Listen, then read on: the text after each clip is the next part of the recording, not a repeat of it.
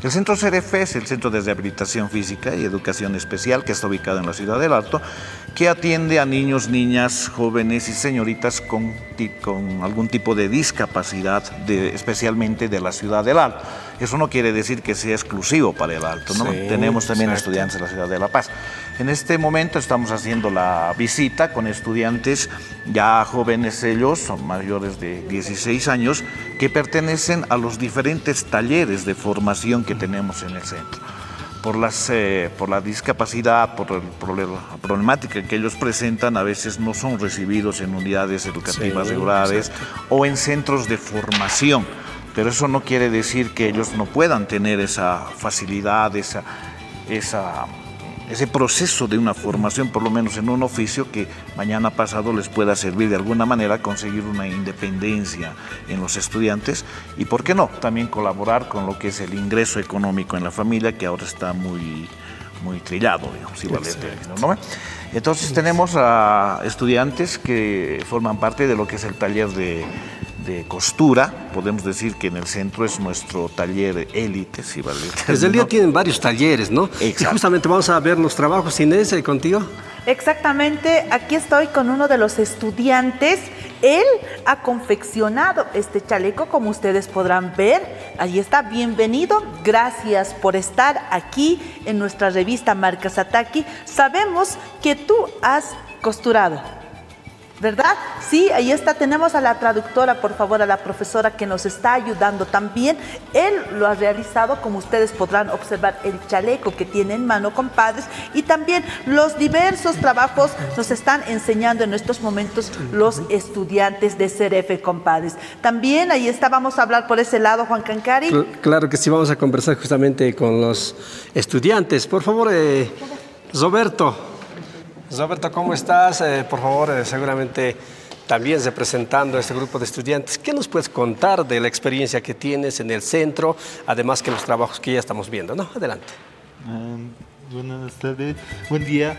Uh, aquí en, mi taller de bisutería hacemos las manualidades que son um, en base de en hilos, en perlas y en diferentes, en diferentes manualidades que son como los collares, aretes, manillas, lapiceros y así.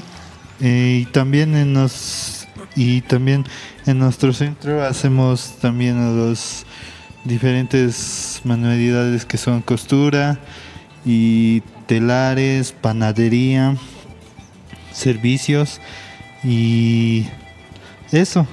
La paciencia que deben tener también los profesores, Juan Cancari, ¿no? La paciencia, el amor, el cuidado que tienen a todos los estudiantes. A ver, conversamos con la profesora. Profesora, eh, cuéntenos esta experiencia, por favor.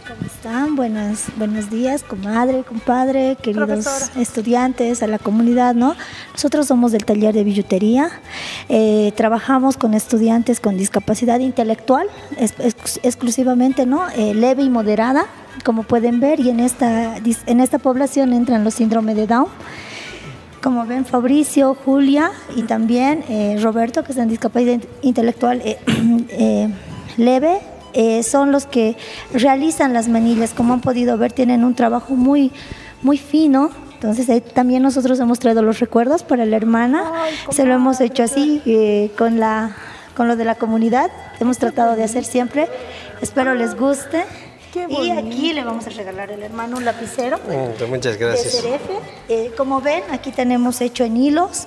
Manejamos todo tipo de hilos. Eh, el material es amplio. Eh, tratan las mamás de esforzarse lo más que se puede, ¿no? Los chicos realizan el trabajo, como han podido ver tejen, hacen con alambre, hacen con todo lo que se pueda y tratamos de innovar lo más que podemos para que ellos también puedan salir al, mercado. Entonces, si alguna vez nos ven, pueden venirnos a visitar, cómprenles los productos porque lo hacen con mucho cariño y amor. Si nosotros tardamos, las personas normales, una hora, ellos lo hacen tal vez en mediodía, pero lo hacen con todo el entusiasmo del mundo. O sea, les cuesta, pero lo hacen con ese amor y con esa paciencia y Es hermoso trabajar y con las ellos. cosas hechas con amor, con cariño, siempre salen bien, profesora. Esta es la prueba de nuestros estudiantes de Cerefe aquí en la ciudad de El Alto, que están ubicados aquí en la zona de Villa Dolores, compadres, aquí cerquita de la comunidad de la vida. Simplemente a los estudiantes decirles que están